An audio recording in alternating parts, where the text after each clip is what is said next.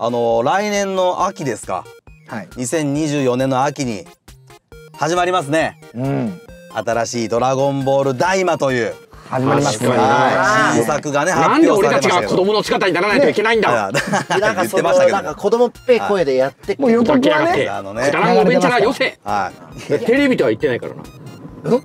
テレビアニメとは言ってないからな。あまだ新作。か新作としか言ってないからな。確かに。はい。土地テレの YouTube かな？完璧じゃないか。来ましたね俺たちの後に。メール枠かまさかいやら俺たちがこの後は「ドラゴンボールダイマー」スタート。あのワンダフルのマサルさんみたいな。なんで俺たちの。さあそれでは次は「ドラゴンボールダイマー」のコーナーだ。マロニの中のワンコーナーでやるワンコーナーで大話をね。あ。おかしいだろ。メインが逆なのよ。逆だろお前。フリーザとドラゴンボールダイマーのみたいなのやるかなんでパロディの王をパッケージにしてるんだよ。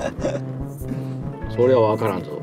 いやまあテレビとは言ってないからな。まあ確かにね。何かしらのネットの。でもアニメシリーズっていうふうに言ってましたっけ？あれはシリーズとは言ったと思うな。だから、ね。うん。でももしかしたら確かにね。あのー本当にあのよくある20分のうん。オープニングがあってエンディングがあってって言ってあの真ん中にコマーシャル入ってっていう20分のアニメじゃなくて確かにだから10分ぐらいのこう短編アニメみたいな感じでやる可能性ある。よ短編すぎるだろ10分でなんかのだからそれこそなんかの番組の途中で。いやだから俺はワイドなショーの中じゃねえから。ワイドナショーの中でやりますかね。だからマサルさんとか10分ぐらいだったからな生中継わざわざね。まあまあねあマサルさんとは違うからねすごいマサルさんそうだでもそうなったら冷めませんちょっとな。番組の合間だと。ちゃんと見たいよ、まあ集中して。目覚ましテレビの間とか嫌ですよそういうの。ちょっとなまあおそらくでもまあ地上波のね。いや分からんぞ。あなんかサブスクネットのまあな配まあまあ信系かもしれませんし、ね、今いろいろありますかでもまあなんだろう10分ぐらいだったとしてもその10分で残りの10分ぐらいをその今日のえーなんかその放送を見ての感想みたいな感じで野沢雅子さんとこうなんか声優さんたちがみんなで座談会みたいにするっていう。なんでそんなそれに尺使うんだそんな いやいやいや面白いじゃん。いやなんで毎回使うんだよ。すごかっ最終話だけでいいだろそんなの。た今日はまたすごかったみいやたいなそっちの方が大変だろ感想トークみたいな、うどうでした？みたいな、、はいろんな人に聞いてテーマまあでもすごいですよそう考えるとね、あの本当に1984年から始まって、でうん2024年でさらにまた新作が発表されるってねすごいコンテンツですよ。ドラゴンボールがこう7つ揃ったらっていうところどうなるか楽しみですよね大までは。ああまあそうですね、ドラゴンボールの。願いを叶えるためなのか、うん。GT みたいにちょっと。いやだからまあ戻すためじゃないですかその、ね。また集めて、うんそれがなんか各時代に散らばってしまったみたいな。なこああなるほどね。ともあるかもしれんがな。おああそういうこと。ゲーム性ありますね。ゲームになりやすいですねちょっと。あなんでゲームを考える側の いやなんかそう俺たちはもういいつドッカンバトルに出てくるかなあ気になってるからなそれは。まあまあね。そうですね確かに。で各時代に散らばるとしたらだベジータはベジータでだそれのその強さに見合った時代に飛ばされる。もしかしたら俺対ナッパというな夢の戦いもな。あー。俺対ラディッツはいはいはいあのしかも子供の時のベジータだったら、ん。そんなにあの力差ないかもしれない。まあやつの方が経験はななあ。るだろうからな。ナッパ。でももう子供の時のそうだベジータにもヘコヘコしてたか。まあそうだ。一応してたね。してたハゲ上がるぐらいヘコヘコしてたから もそもがもう強くなりすぎましたからね。もうそこはね。でもあのまあドラゴンスーパーの中では悟空とブルマってめちゃめちゃまだ合ってるじゃねえか。何？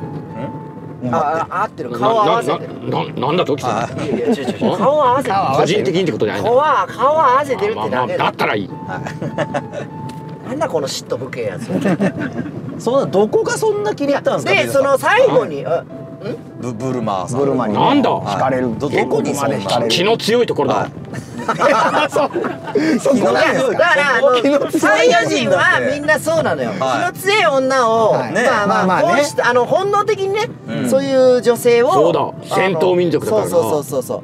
それはまあ後々に明かされた。だったら三浦は嫁のどこを気に入ったんだ？確かに。いや僕はあの気の強いような気の強いですよ。嫁のどこが良かったんどこを気に入だったんだ？はい。いやもうもうノリもそう見た目も僕ノリ？見た目もはい。気に入ったか？あのすごい波長があったんですよその波長？のノリが。僕のどどういうよいしょみたいなことよいしょーってはい。おすごくあの僕明るい子が好きだったんで。うなるほど。ですごい明るかったんで。おあそう。あでも結構初対面からか？そうだって僕会って2回目で告白して付き合いだした。早っ。2回？早っ。はい。早いですね2回は。一目惚れかほそうですね。ぼなるほど。で彼女も当時いなかったですし。はい。会って2回目ですけどもで一応なんかこうタレントさんというかまあん。そういうリポーターとかもやってる子だったから。一応芸能のそうそう、はい。やっぱ喋りはねうん。ちゃんとしてるしやっぱうん。声量すごいよね。声量か唯一褒めたのが声量か舞台あのね結婚式はい行かしてもらったんだけどなるほど。やっぱあの三浦の声がもう小さくて。何嫁さんの声がでかくて。めちゃくちゃでかくて。えな17号で出たのか？いや17で出てない。ちっちゃいですかね17生身の三浦で出たんですけどもでねその後の披露宴とかでもこうゲーム大会とかあるじゃない、うん。であの三浦はなルールがよく分かんない。ああよくある説明でであのゆ前でうん。あのでちゃんと説明したでしょって言ってもあの公開ダメだしみたいなのが始まる。あもうその嫁さんの。結婚する前からそうだった。か で結婚式なんですけどもそう。あのー新郎新婦がなんか進行するみたいな。そうそうそうそうそう。あの多分ね三浦のその嫁さんが自分でやりたい人なんだよねそういうのを。あのなんかみんな本当に来てくれた人たちに楽しこちら側から楽しんでほしいっていう気持ちでなるほど。はいやったんですよ。で三浦はもうあの手取り足取りこう。あ貴様は別に楽しんでもらおうとも思ってないと。いやそんなことはないですよ。いやいやご祝儀ご祝儀置いてご祝儀置いて帰れと。うんでも本当にそんな感じだったら本番何も把握してないみたいな。何にも聞いてないっていう感じで。でも一応ちゃんとあの結婚式内であのサプライズしましたそう。何？なんだはい。なんかひ引いたのかな？んか。うん。あのお色直しをしてる時に17号。あのーそう。17号。ではない17練習して17いやあの妻よいしょが。妻よいしょがお色直しをしてる間えっとそこに皆さんに説明したんですよ。うん実はちょっとサプライズを用意してて僕あのープロポーズのえっと結婚の指輪渡してなかったあはいはい。逆プロだったんで僕。うん逆プロ。はい。逆プロ逆プロ。逆逆プロポーズだ芸人もな逆プロだもんな。逆プロ。芸人だから。はい。逆プロ芸人なんで。うん。はい。そこでサプライズでちょっとあのー指輪に変わるものをあ何？の用意してるんであの皆さんちょっとその時になったらあの静かにしてくださいみたいな。あちょっとタイミングを見てやりたいところがあるんでっていうのおを協力してもらってなるほどね。はい。それがなんか指輪とその時渡したその婚約指輪ある、うん。結婚指輪。うんかなんかと同じ素材を使った要はあネックレス。ネックレス。っあなるほど。ていうのをなんか用意してて。でそれをあの本番、まあ、突然ね、うん。渡すっていうやつなんだけど。あのそのサプライズ入る前の説明が下手くそすぎて、うこいつは本当に 本当に説明が。嫁さんが、えああもう多分分かったのもうサプライズだと。これは、はい。あもうサプライズだなんとなく分かってる、でもこう開けてそのネックレスをね。これはえっ、と指輪とその、えっと同じ金属を使ったえっ、と素材的にはえっ、とみたいな感じで言っておう「ん？どどどういうこと？どういうこと?」ってなって、うん。もう泣く準備できてんのに、はい。涙引っ込んじゃって。女優が女優女優やってて涙がな。もう泣く準備できてるのに、はい説明がもうめちゃくちゃたどたどしくて。そうですねなあ言われてたもんね、はい。僕もだからサプライズとかあんまりするタイプのないからちょっと慣れてなくてうん。ちょっと指導ローモドルになっちゃって。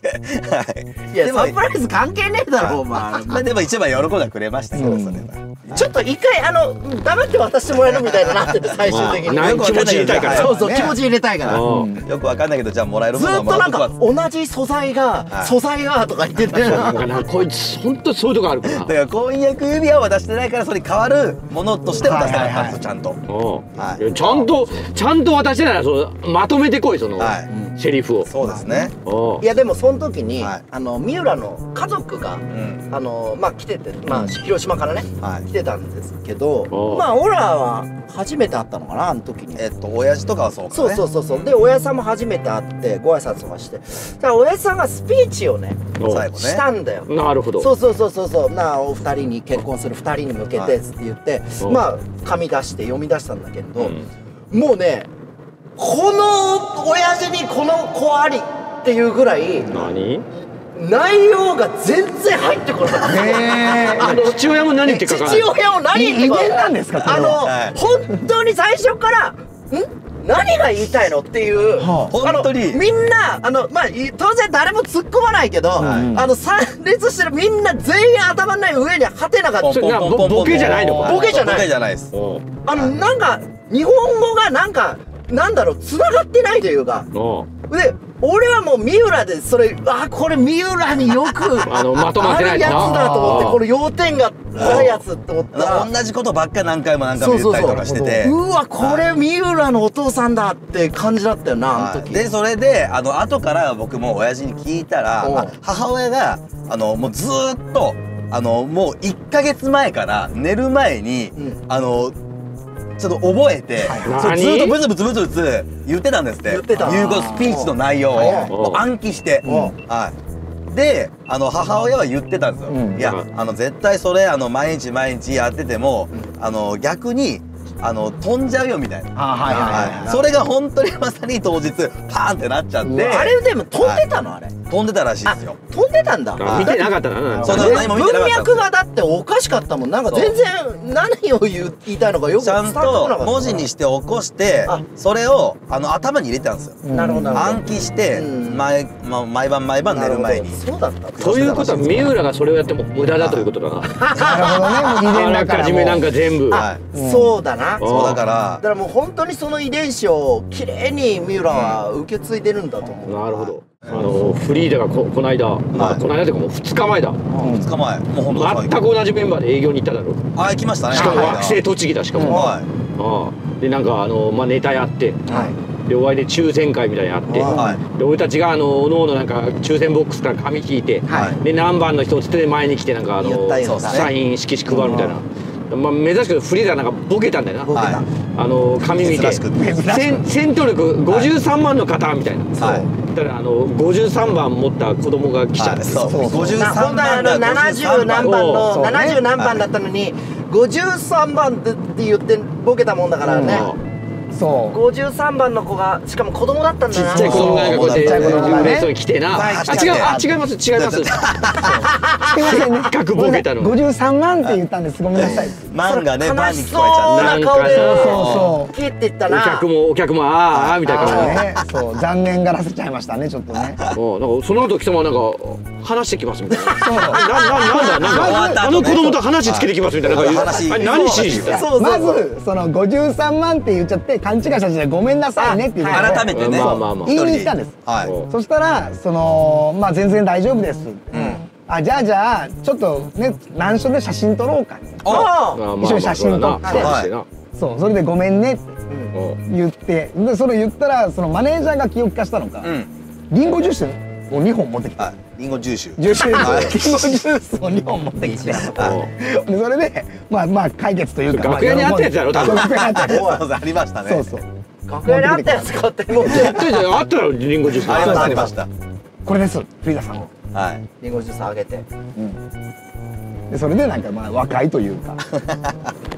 珍しくボケたらな。そうあんなトラブルありましたね。うんいやそうなのだからまあ数字ボケはねちょっとね危険ですよね。そうそうそうちょっと危険ではあるあそこでね。うんあれはね。本当に53番だったら全然いいんだけど。そうそうそう。70何番だったら全然違った。そう。前来ちまったもん。そうだ。ね。え。欲しそうな感じで。まあちょっとね。ちょっとね嬉しそうな感じでは来てましたからね。いそれが一応ね我々のさあの寄せ書きのサイン色紙と写真のプレゼントなんですよね。景品がどうなんだあのサインっていうの。何？俺はは個人的にうそんな別に芸人のサインなんぞに価値を見出さんのだ俺。いまあ漫画家ならいい。わかる。いやーまあわかりますそれはすげえイラストなんかそう入れてくれたな。すっごいわかる。芸人のサインっていやわかる。いるか別に。あのね。写真がまあまあ好きなら思い出になるかとは思うけど。まずあのそもそもサインっているってちょっと思ってるんだよ俺もちょっとわかるであのー、メイに俺それツイッターチーターの方であいや言えてましたよツイッターあのー、ペケアンケペケジペケジの方だそうそうペケジ。の方で今うん今現在ね。X ね。そう。えっ、とアンケート取ったんだよ。はいはああ。の要はそう有名人アンケート機能あると、よねえー要は撮りたいやりたいものみたいなことで、例えば、えっと、一緒に写真を撮る、うん。はい。サインをもらう。握手するみたいな、って言ってやった時にやっぱり一緒に写真を撮るがやっぱ1位では、うん。まあなうん。まただやっぱサインも多かったんで、あへなるほどだからサインってまあなんかもう嬉しいんじゃねえか飾るのかあれは。どいやまあ飾るんじゃないですかやっぱ好きな方だから別にその芸能人誰とかじゃなくてなんかあのなんかこう芸能人っぽいこうカシャカシャっていうのを野球選手ぐらいならわかるが嬉しいんじゃねえかな。俺らだって子供の時にうん。本当になんか誰だかわかんないけどねあの遠足かなんかではい。公園に行ったんだよ。なんかねあの横浜の山下公園かなんかかな。行った時に変なおっさんがなんか演歌を歌っててこうなんかうん。こうなんかマイクで。ほうほで多分全然有名じゃないんだよううん。おう。でもなんか地元の新聞に載ったみたいなこと言ったら、はい。みんなわーってなってサイン攻めになってて、えー。知らないんだよだって知らない。知らおう。でもだなんか有名なんでしょっていう。こと、だから結局関係ないんだよね。子供たちからしたらサインっていうなんかいやそうね。なんかもらえたっていうシールみたいなことかそう。そういや記念品みたいなもんでしょ？だからもう、俺はサインも写真もないだろうな写真もない。かつてその有名人と撮ったってことはな。あああ写真これ業界に入ってからもちろんあるかな。あはいはい。まあまあもちろん、うん。だプライベートってこと完全にその素人のサイヤ人だった時はないなうん。なんかえ会ったことあるの？そういう芸能人と。その仕事じゃ。要は自分がそういうやる前に生素人だった時に。ないんじゃないか生。は生ね見に行ったこともないしな。ああそうなんだあんまり興味がなかった。それよりはやっぱりリクガメとか。ああ。動物見に行ったからやっぱな。有名人あじゃないですけどね。リクガメはまあな。あ写真が好きじゃなかったな昔から。あー。写真自体がね。今もそんな撮らんしな仕事で必要なもの以外に魂抜かれるってそんな古いあれではない 江戸時代か俺は。あ なんかいつもねマロニのロケとかでも確認してますもんね。何をこれ魂抜かれませんよ。なんバカすぎるだろ。それ大丈夫なカメラですか？つってなんだ大丈夫なカメラ。何があんだ俺の中に。撮るかプライベートで。霊とかあなた一切だってそういうの信じてないんでしょうね。当たり前だ。はい。なるほどそうねいう現象というかね。撮るか貴様ら写真プライベートで。プライベート全然撮りますよ。プレイベート？まあまあ貴様ら、まあ、あれかガキのあれがあるのかまあこのまあまあまあシーナの旅行とか行くとやっぱいいやろいろだからそれこそまあ本当にリアルタイムの昨日の話だけど、うん。学祭行ってあで着いて、まあ、タクシーから降りて、は校舎入るそのそうそう。その間に声かけられたの、ん。その学生っぽいの。で「アイデンティティさんですか?」で「一緒に写真撮ってください」って言われて「いやまあいいけどまあ中身の格好だからまだねこの格好してますよ誰でもねえけんどな」みたいなこと言って。でまあ素のだから田島と三浦でうん。撮って、一緒にね撮ってだでも分かったってことは相当なファンなんだろうなと。そうそうそうありがとうねで終わって。まあまあそれで、まあ、本番ステージで、うん。さっきなあの着いてすぐになんか写真撮ってくれって言われて「あいつ来てっか?」っつって言ったら来てねえんだよ。何？ライブ自体は見に知らなかったのか。ステージ見に来てねたまたま貴様らがいたと思ったんだからな多分いやどうなんだろうそしたらな絶対知ってるでし知ってるはずだけまあどな、もうもう見たしっていうもうもう見たネタだってやってないいやネタはもう大丈夫。写真撮れればもうスノーラた。ちと一緒に写真撮ってステージ見に来ねえってあまず一番るんか近くで見えてからもうそれをねまあまあまああったんじゃないのかどういうファンなんだろう。一番ね。でフリーザはでもフリーザじゃねえ時に、あ声かけられる声かけられるどうですかそれこそはい。フリーザのない時だったらこうお掃除とかで行くじゃないですか。うん。それこそ写真とサイン求められますよ。はいあ本業の方ではやっぱそっちの方が。いや本業。はだから。ああまあな、ね。サインとかねそう掃除用のサインもあるのかやっぱり。お掃除のサイン。はねサイン会会社で山本やっぱそっちのサインもあるいやわ丸墨みたいでな分けてるんですねそれ領収書の時に書く時ですリアルだな支俺払いの時にでもその時はでもそのフリーザじゃなくてもはい写真撮ってくださいサインお願いしますっていうのは言言われます。それ別料金でやっぱいやいやもうそのままですよ。別別に3000円ぐらい。いやいやせこいなオプションオプションでしたオプションで撮るわけないでしょオプションでしたよそんなの。ベジータさんはちょこちょこ気づかれるんじゃないですか。そのまだ仕事がある時とかは確かにね。あの髪型とかで。髪型は常にこれだからな。はあ立っててるやつ。そりゃそうだ。あのー、ただベジータね、うん。まあすこのあと仕事がある時はいだったらまあわかるんですその、髪の毛そのままケールなんだ？わかるんだけど、このままこの後もうケールだけっていう時も、うん。帽子でも持ってくりゃいいじゃないか。あキャップかなまあまあ。ねかぶりゃいいんだけどやっぱかぶんねえんだよな。はい。あまあ目暑いしな。やっぱりあのなあの広大さんがはい。あのベジータはき気づかれたがってるふざけるな。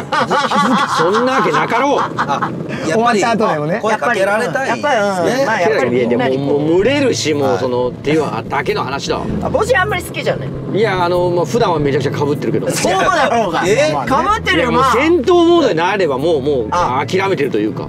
なるほど。気づかれたよ。でも K の時は関係ねえじゃん、い。やまあそうだ暑いしもう。あ暑いから。ああまああの電車でな、ん。あのまだ降りる駅がだいぶ先なのにあはい。声かけられて そのまま正面にいるパターン。それは嫌だな。そそれ嫌だ。もう一瞬にしてな、はい。ずっと苦痛な時間というかそのなんかな気休められねん会話がね気使っちゃいますからねちょっとドッカンバトルでも始めたもんならあやっぱやっぱやってるんですよ 気抜けねえもんな。うん。ずっとオンになっちまうからだってそれこそ僕ベジータさんと会っててだ。で帰り電車一緒だったんです途中まで、はいはい。で、まあ、普通にベジータさんと喋ってて、うん。でベジータさん先に降りた後に降り降りた直後に、男のおじさんに僕声かけられて「あれ？さっきのベジータさんですよね。えあそあそこの駅住んでるんですよ」おい。ね僕が「あはい住んでます」おい。はい。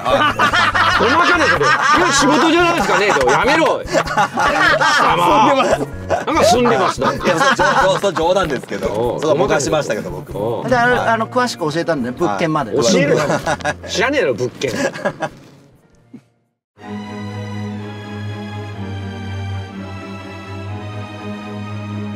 フリーザとマロニエールの惑星栃木会議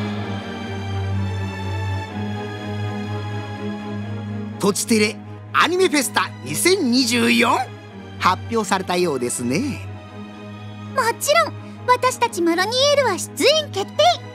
これからどんどん出演者が発表されるからホームページや X に注目してほしいな。ええ2023では新しい神様が降臨しましたがちゃんと情報を確認していた方々はその降臨の瞬間を見ることができましたからね。目が離せませんよ11回目の開催の今回もいろんなアニメコンテンツを盛り込んで栃木を宇都宮をたくさん盛り上げちゃうからね。フリーザくんもアニメフェスタに来るなら早くホテルの予約しておいた方がいいよ。私次は出演ないんですか？来年もマロニエールとマロニエール TV をよろしくね。良いお年を。ちょっとアニメフェスタに私の出番はないんですか？もしもし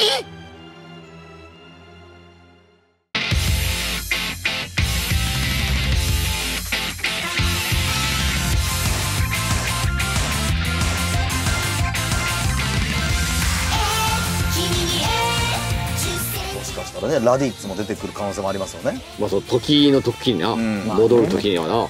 ブロリーがどうなるか。出てこないと思うな。あでもブロリーもだからそのあのちっちゃくなってるそうそう。んだったら。あでも虫しか食わねえだろ。